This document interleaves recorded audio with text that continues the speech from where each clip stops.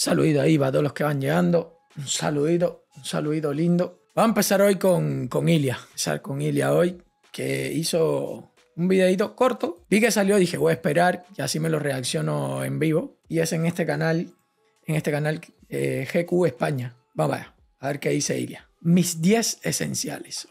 Aquí está mi reloj. Fue un regalo que me hizo un amigo mío que me hizo muchísima ilusión en su día. Hice mi debut dentro de la UFC y me prometió que si ganaba la pelea me regalaba un buen reloj. Entonces como que me lo dijo un día así, sin más, luego cumplió con su palabra. Gané, ni me lo esperaba y me lo regaló. Me dejó buenos recuerdos. Está cabrón, pero debe ser lindo que alguien te prometa que te va... No sé cuánto costará ese reloj, no, no sé mucho de reloj. Sé de Casio.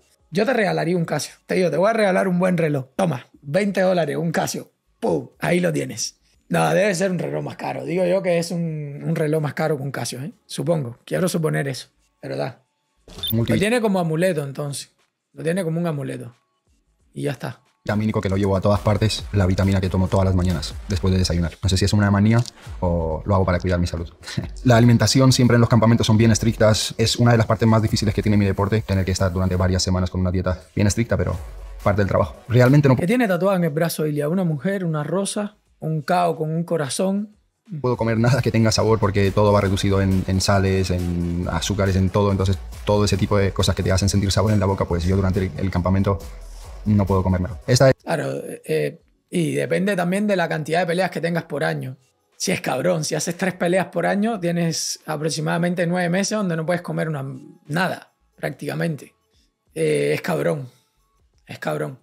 Por eso el tema de que muchos peleadores no quieren hacer tantas peleas por año, pues les, cuesta un huevo. Tener que mantener esa dieta el, año entero es, es una cabronada. Es dificilísimo. Es durísimo. La última pelea de Ilia, ¿cuándo fue? No fue hace tanto, ¿eh? ¿Cuándo, ¿cuándo fue la última pelea de Ilia? La de Josh Emmett. ¿Cuándo fue? No fue hace mucho tiempo. ¿Qué fue? Hace dos, tres meses. Yo creo que no fue hace mucho. Julio, agosto, septiembre, octubre, noviembre, diciembre, enero y fe- Bueno, tiene siete meses por medio. Sí, tuvo tiempo de. Tuvo tiempo, tuvo tiempo de. De más o menos, ¿sabes? Tomarse su.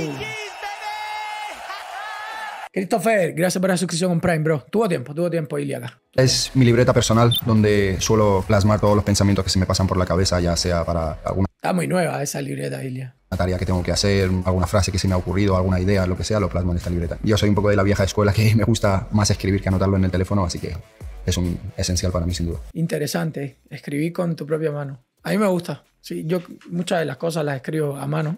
De hecho, tengo una pila de hojas aquí. Después, yo sí, después tiro muchos guiones. Porque está acordando todo eso, una cagada. Carzarpes o algo así, gracias por la suscripción. Cuatro meses ya, bro, gracias. Que pasen uno, dos, tres días que no escriba nada y de repente me ponga a escribir. Algún sueño es terminar siendo como el mejor del mundo del año. Ese es el objetivo.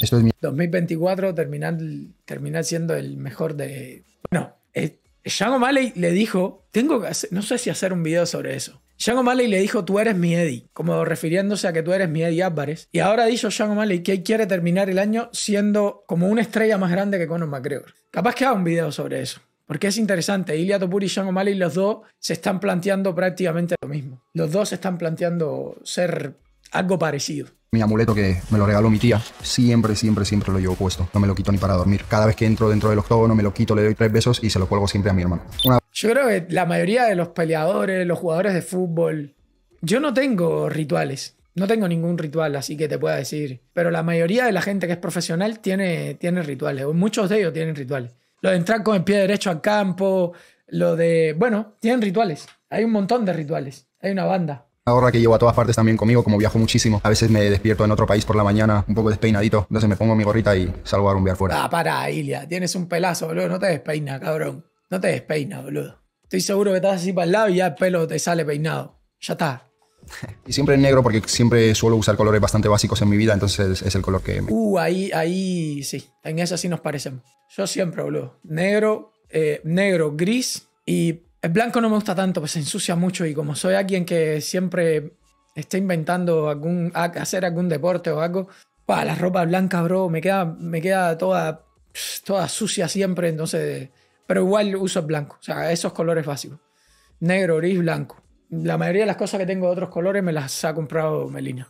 Que ta, es su color preferido y me compra cosas de otro color. Tío Brain, supongo que conocerás quién es Bastos, gran amigo de Rayo. Conociéndote, creo que te sería muy interesante su seminario de ideología y teoría política, si es que no lo has visto ya. Está gratuito en YouTube. Tenga buena tarde. Sí, sí, a Miguel Ancho Bastos seguro, seguro. Me he visto, no sé, prácticamente todo de Miguel Ancho Bastos, la verdad. Y sí, me parece un crack. Igual yo soy, tiendo a ser más liberal clásico que él. Eh, Bastos se considera casi un anarcocapitalista. Yo no, no concuerdo con, con- Me parece que el anarcocapitalismo y el comunismo se tocan. Eh, son un circulito que, se tocan en un punto y no me... No, pero igual, igual lo considero un maestro. Dakiol, gracias por esa suscripción comprada en tres meses ya, bro. Gracias. Me combina con todo. Un polito que siempre llevo en la mochila cada lugar que viajo. A veces llego y necesito irme directamente en algún sitio y para poder irme bien. Polito, debe ser de polo. Esto pasa igual que en Cuba, que había una marca de, zapatos que se eran tenis y por eso se le dice en Cuba tenis a todos los, los- zapatos deportivos. En Uruguay a los championes, que era una marca de zapatos también, champion, se le quedó también eso. La marca se le quedó así. Y polo yo creo que se le debe haber quedado polo por la marca polo, supongo. En Uruguay se le dice remera y en Cuba pullover, que pullover es... est- Estos son cosas rarísimas. Pullover sería en inglés, pero en Cuba se quedó pullover, pullover, pullover y le decimos pullover a las remeras. Yo tengo eh, mi ropa que me gusta usar y ya está. Agarro un calzoncillo, un short y una remera. Chao. Rápido. Tú me dices, vamos a salir, en dos minutos estoy listo. Ya está, no tengo drama. Ahí rápido, pum. Para mí, la ropa es para ser práctico. Ya está. No, no, no tiene otro misterio. Para mí la ropa es así. Siempre me van a ver vestido igual en todas partes, eso sí.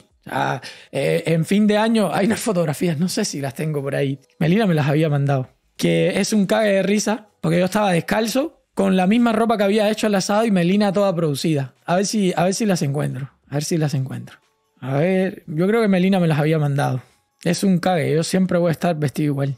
No, no las tengo aquí. No las encuentro. Eh, no voy a perder tiempo en esto. Pero tal, yo siempre ando vestido igual. Siempre. Hablaron en mi casa mis padres cuando era pequeño y tiene un valor, pero súper, súper sentimental para mí. Es algo que lo llevo siempre también antes de los combates, en los pesajes, en todos lados que voy. Y aquí sale San Jorge y por detrás sale Santa María. Desde A ver, yo no tengo este tipo de ídolos ni nada de eso. No, no, no tengo ese tipo de cosas. Aquí están mis guantes, que también van conmigo a todas partes. Cada lugar que voy, pues me los llevo por si me surge alguna oportunidad de poder entrenar. Me los cambio cada seis meses por ahí, porque también me gusta como acostumbrarme al guante, los entrenamientos y sentir los míos que ir cambiándolos, no sé, todos los meses. Para pelear utilizan... Bueno, cada seis meses. Yo pensé que era, iba a decir unos guantes que tenía por una cuestión de suerte de mucho tiempo, pero no. no. Tenemos unos guantes de 4 onzas, que, que, son las que utilizamos también cuando nos vamos acercando al combate, para, más que nada para acostumbrarnos al tamaño de la guantilla. Pero cuando hacemos trabajos duros y con los sacos y donde exponemos nuestra mano, ahí no solemos Claro, es importante llevar guantes gruesos para no, para no romperte la mano. Ayer, ayer en el gimnasio, jugando básquet, se pelearon dos, dos chamas. Dos chamas eh, ah, 18 20 años, no sé qué edad tendrían, y se pelearon. Con uno de ellos me llevo bastante bien.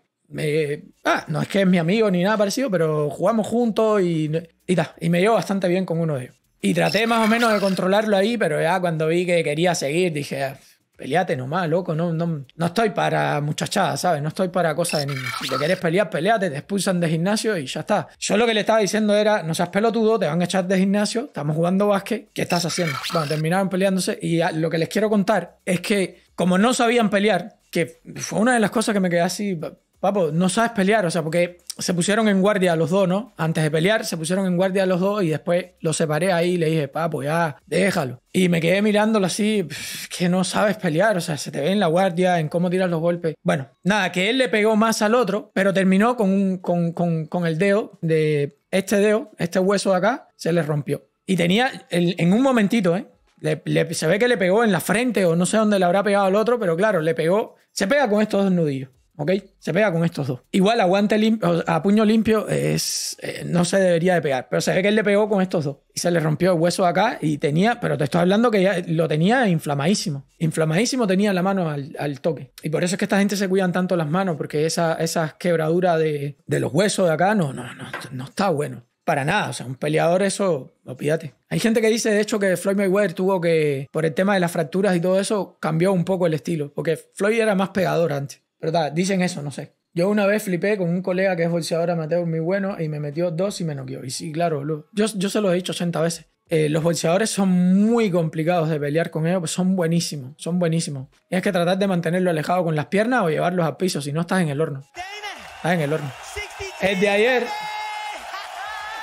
Noctala, gracias por la suscripción, dos meses. El, de la pelea de ayer, había gente grabándolo y todo, boludo. Me, me, dio, me dio un poquito de bronca. Lo que pasa que yo no, ya no me meto, porque está. Pero un momento ya en cuando ya lo, lo, dejé, porque yo lo tenía ahí separado y lo estaba aguantando y él me empujaba a mí, yo aguantando el empujón y yo no quería estar en la bobería. No te la, no te la agarres conmigo, ¿sabes? No, no te la agarres conmigo que yo no... Y tal, y le dije, no seas boludo, te van a expulsar de gimnasio. No seas boludo, era lo único que yo le decía, no vas a ganar nada, te van a expulsar de gimnasio. Y tal. Y cuando los dejo, se ponen a grabar los cosos, todo. Y él le estaba pegando más al otro. El otro, lo único que intentó hacer fue agarrarlo por la remera mientras él le pegaba. Que supongo que ahí, en algún golpe que le dio en la cabeza, fue donde se rompió porque él le estaba pegando así, con una posición incómoda, ¿no? Cayeron al piso los dos, el otro se quedó con un pedazo de remera en la mano. O sea, cero en pelea. Cero, cero. Te estoy hablando que parecía una pelea de niño de primaria en Cuba. Yo me quedé así y dije, está terminaste con una mano fracturada, el otro terminó con, el pómulo roto, los dos expulsados de gimnasio. Nada, una, una pelotudez terrible. Pero, pero sí, los boxeadores son muy cabrones. Sí, fue un 17, boludo, pero ¿de qué te sirve?